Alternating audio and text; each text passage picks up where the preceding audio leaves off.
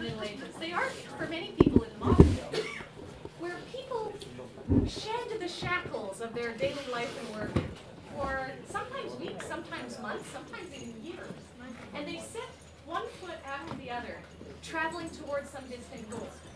Uh, for many, it was Canterbury. For many, uh, it was Santiago de Compostela, which is uh, the cathedral in northwestern Spain where the relics of St. James are kept.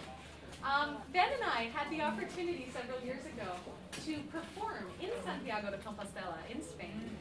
And we sat in the cathedral courtyard, this medieval cathedral, knowing that these courtyard stones could tell so many tales of so many thousands of pilgrims over the years.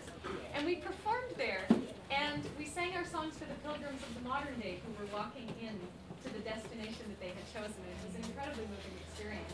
Um, should you feel pilgrim's blood stirring in your veins, then um, feel free to flamenco in the aisles, or um, if you'd like to clap along, if you could do it on your lap, because I'm not sure I could belt out over um, uh, the flamenco lepsy of everyone, you know, going berserk in the uh, crowd. But um, please do join in. This is the road to San Fernando.